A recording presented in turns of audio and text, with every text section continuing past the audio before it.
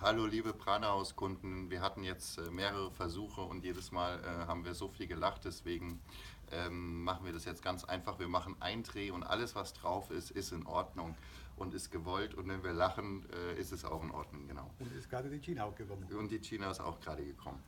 Also, liebe Prana-Haus-Freunde, äh, ich wollte euch ein Ritual heute vorstellen.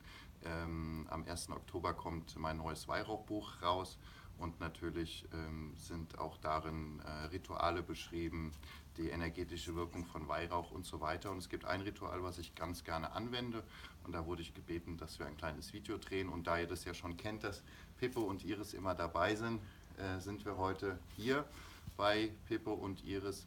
Und äh, ich werde euch und dem Pippo auch das Ritual einmal vorstellen. In unserem kleinen Tempel wir. Genau, im kleinen Tempel, Ganesha-Tempel. Ähm, bei diesem Ritual geht es darum, dass wir uns auf ein bestimmtes Thema konzentrieren, etwas, was uns im Leben belastet und was wir gerne abgeben möchten. Und ähm, Weihrauch ist, ähm, gibt ja sehr viele Weihrauchsorten, aber das, was alle Weihrauchsorten ähm, miteinander vereint, ist, dass äh, Weihrauch immer eine sehr segnende und öffnende und verbindende Eigenschaft hat. Und ähm, das, was wir heute machen möchten, ist, dass wir den Weihrauch nutzen, um ein Gebet an Gott zu sprechen und ihn darum zu bitten, etwas von uns zu nehmen, was uns im Leben belastet. Das ist die erste Variante. Es gibt auch noch eine weitere, die erkläre ich dann danach. Und ich würde sagen, wir fangen einfach an. Ähm, wir haben hier, genau, oder Iris kommt einfach mal. Wir haben hier ein Feuerzeug, eine Räucherzange, eine 50 mm Schnellzünderkohle.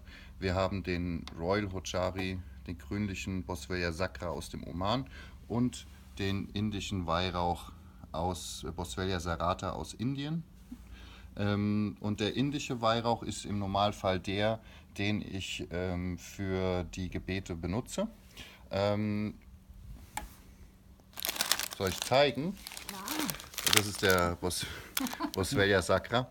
Ähm, also ich benutze gerne den indischen Weihrauch, ich mag den Duft auch, aber ich weiß, dass äh, viele Kunden den würzigen Duft nicht so mögen und deswegen habe ich euch eine Alternative vorgestellt und das ist eben der Boswellia Sacra aus dem Oman, der sehr stark auch mit dem Seelischen und dem Göttlichen verbindet. Also man kann den indischen Weihrauch nehmen, äh, man kann aber auch den Oman-Weihrauch, gerade den grünlichen nehmen für dieses Ritual.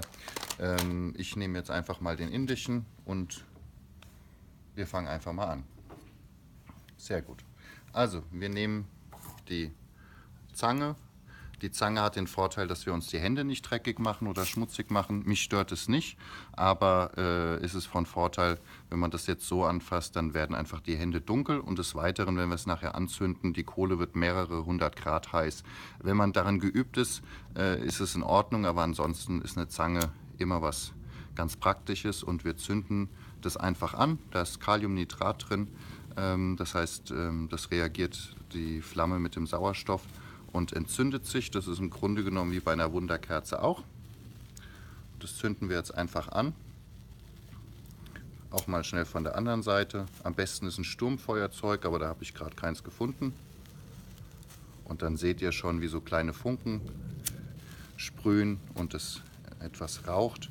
Und es dauert jetzt so ein paar Minuten und dann können wir mit dem Räuchern loslegen. Und der Pippo hat hier einen Baumstamm, darf ich das so sagen? Ja. Ja, ausgehöhlt und mit Sand bedeckt. Das ist jetzt mal eine riesen Räucherschale. Ja, das ist sechs oder vier, damit der Himmel alles erreicht. Das und da legen wir die Räucherkohle rein und lassen die einfach mal ein bisschen vor sich hin glühen und warten einfach einen Moment ab, dass die Kohle ein bisschen gräulich wird, also sich eine Ascheschicht bildet und dann fangen wir mit, mit dem Räuchern an. Und wir nutzen gerne diese Zeit, äh, Pippo, ich gebe dir mal einen Stift. Das heißt, wir überlegen uns, was wir in unserem Leben haben, was wir durch die göttliche Gnade gerne umwandeln möchten. Ähm, das heißt, ähm, wir suchen uns irgend, also ich denke nicht, dass Gebete äh, an Gott immer erhört werden, vor allem dann nicht, äh, wenn äh, die, wir Menschen neigen dazu immer, dass wir Sachen loswerden wollen. Das heißt, äh, es gibt irgendeine Situation in unserem Leben, die gefällt uns nicht und dann wollen wir sie schnell loswerden. Äh, ich bin ziemlich sicher, dass die Schöpfung so nicht funktioniert. Aber es ist schon auch so, dass ich die Erfahrung gemacht habe, dass sehr viel göttliche Gnade existiert und dass wir äh, viele Themen nicht immer mit uns herumtragen müssen. Ähm, was ich glaube, was einfach sehr notwendig ist für eine Umwandlung und auch unabdingbar ist, dass wir ähm, ein Gefühl der Annahme kommen. Das heißt, wenn wir etwas in unserem Leben verteufeln, äh, ist es sehr schwierig, das loszuwerden. Und ich glaube, in dem Moment, wo man nicht mehr das Gefühl hat, man müsste etwas loswerden, dann kann etwas auch wirklich gehen. Das heißt, Pippo, wir beide, bevor wir jetzt etwas aufschreiben, beziehungsweise bevor wir räuchern, wäre es schön, wenn wir einfach in das Gefühl der Annahme gehen. Da gibt es auch einen kleinen Trick. Das heißt, äh, wenn ihr Schwierigkeiten habt, zum Beispiel eine Krankheit anzunehmen, äh, was ich gut verstehe, wenn man Dauerschmerzen hat, ähm, dann kann man sich zum Beispiel sein Haustier vorstellen oder sein Kind vorstellen, die Augen schließen und einfach mal äh, einen bestimmten Moment in die Erinnerung holen, in der man das Gefühl von Liebe und Annahme wirklich gespürt hat.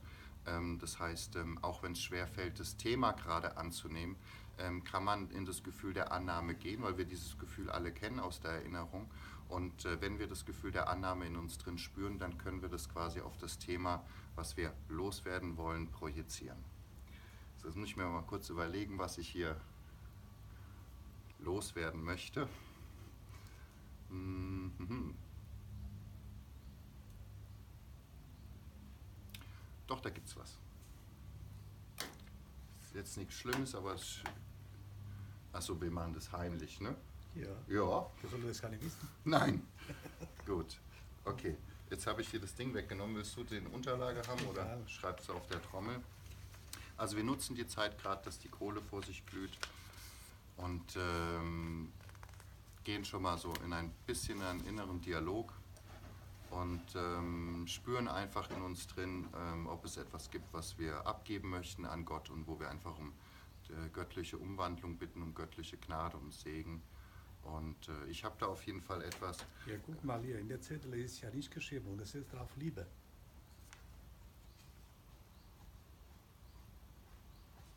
Ein magischer Zettel. Willst du liebelos Hey, werden, ihr? Leute, hä? Liebe braucht doch jeder, oder? Ja. Liebe ist äh, der Hauptzustand, Also- was uns ausmacht. Äh, was wir jetzt machen, ist, dass wir etwas suchen, was wir Gott geben Liebe möchten zur. Erlösung.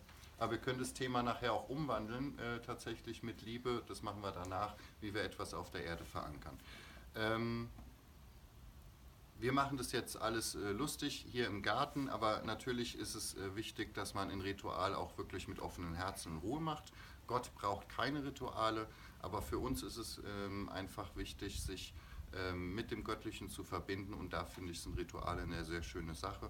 Das heißt, wenn ihr das zu Hause macht, nehmt euch Zeit dafür, macht euch eine Kerze an, macht euch ähm, eine Duftlampe an, geht vorher baden, macht es einfach zu einem heiligen Moment. Wir machen das jetzt relativ schnell für euch, aber guckt, dass ihr euch das Ritual so schön wie möglich gestaltet.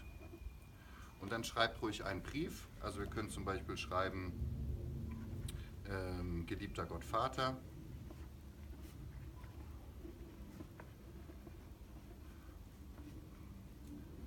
Und dann schreiben wir wirklich wie einen Brief an einen Freund und sagen hier, ähm, du weißt, mir geht es mit diesem und jenem Thema nicht so gut, das belastet mich schon seit vielen Jahren und so weiter und so fort. Und ich bitte dich, das einfach in deine göttliche Hände zu nehmen und ähm, das Thema zu heilen und zu wandeln. Das schreibt ihr da einfach drauf.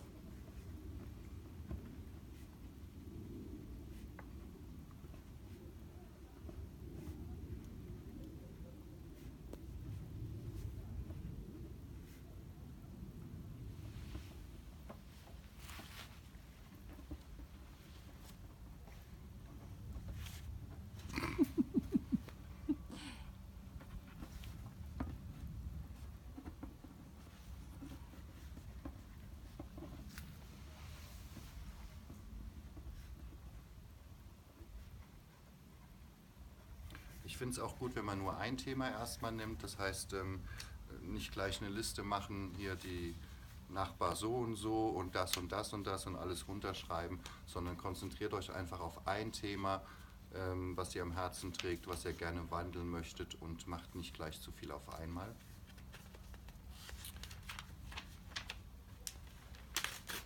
Ich habe meins schon durchgerissen, fängt ja gut an.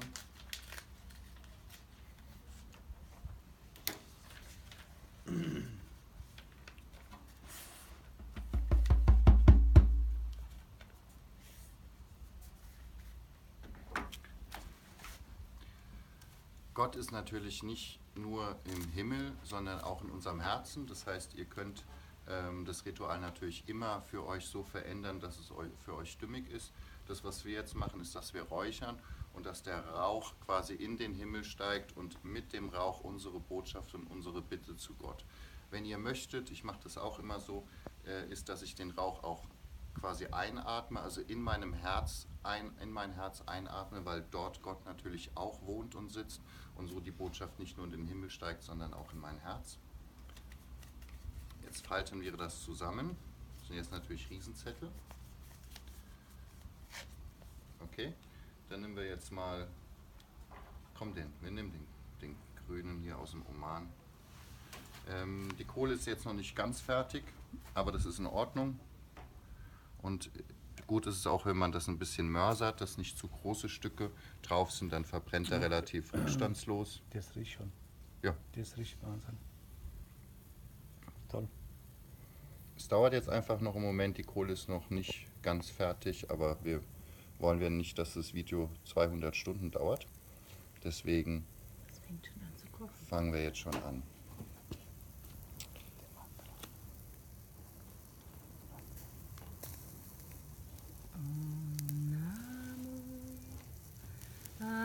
Amitabhaya, Ups. Budaya, Dhamaya, Sangaya. Om Namo Amitabhaya, Budaya, Dhamaya,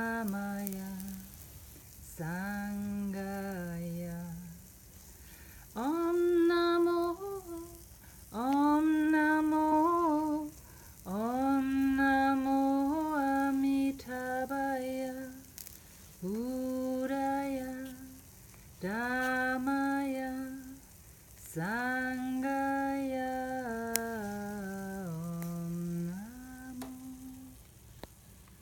Und wenn der Rauch jetzt in den Himmel steigt, verbinden wir uns einfach mit dem Göttlichen über den Rauch und über unserem Herzen, so wie man das möchte. Ihr könnt euch die göttliche Quelle als Sonne vorstellen und euch über euer Kronenchakra verbinden. Oder ihr spürt einfach das Göttliche in eurem Herzen, eurem Körper und verbindet euch mit dem Göttlichen in euch. Und wir atmen den Rauch ein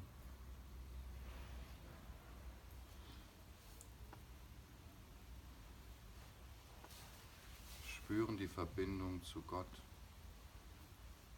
und sprechen ein Gebet. Wir machen das jetzt in der Stille. Ihr könnt das auch gerne natürlich dann später laut machen.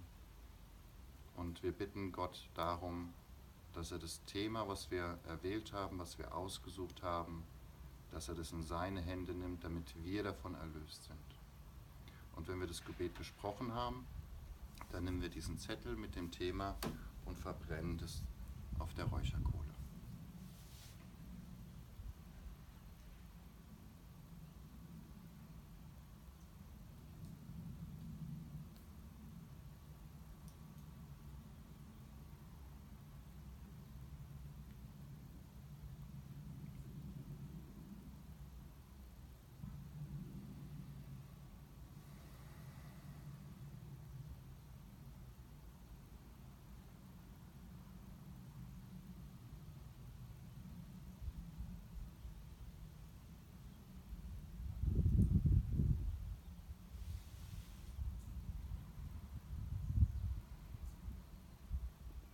Und wenn das Thema etwas ist, was in eurem Körper sein sollte, egal in welchem Körper, physisch oder Gefühlskörper, Mentalkörper, dann könnt ihr euch auch vorstellen, wie dieses Thema aus eurem Körper in den Rauch geht und über den Rauch zu Gott, wo es gewandelt werden darf.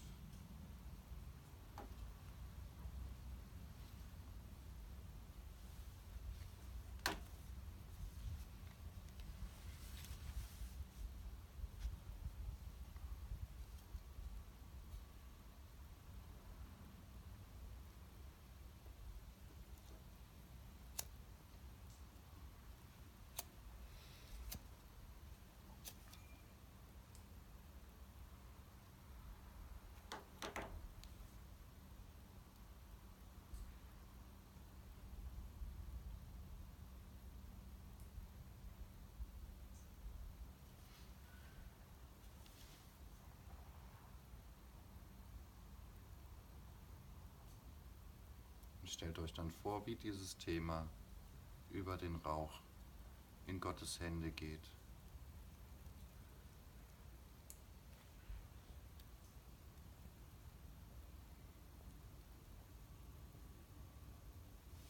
Der Flügel.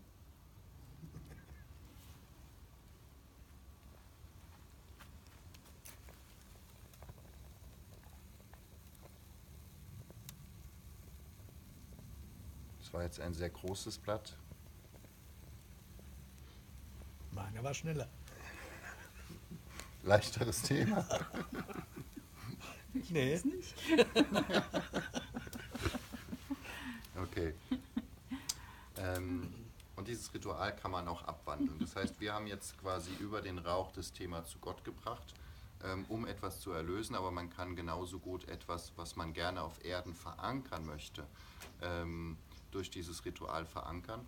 Und dann ähm, nimmt man seinen Zettel und schreibt ein bestimmtes Thema drauf, was man sich in seinem Leben wünscht, was man hier auf Erden verankern möchte und äh, räuchert dann auch. Das heißt, man spricht das Gebet über den Weihrauch, über den Rauch an Gott und sagt ihm, ich hätte, ähm, ich würde dich bitten, quasi dieses Thema hier auf Erden zu verankern. Ein bisschen ausführlicher, auch hier natürlich, das darf ruhig ein Gespräch sein.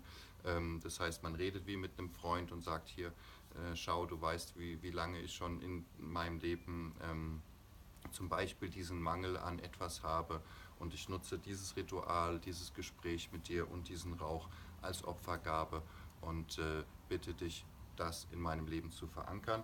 Der Zettel wird dann nicht verbrannt, ähm, sondern man räuchert, man betet, dann nimmt man Weihrauch, den man geräuchert hat. Also nicht den Weihrauch, der verräuchert ist, sondern äh, Weihrauchstücke. Ähm, nimmt den Zettel mit dem Thema, was man im Leben verankern möchte faltet es zusammen und legt es unter das Bett. Das heißt, man hat den Zettel mit dem Thema, den Weihrauch da drauf und legt es einfach für ein paar Wochen unter das Bett.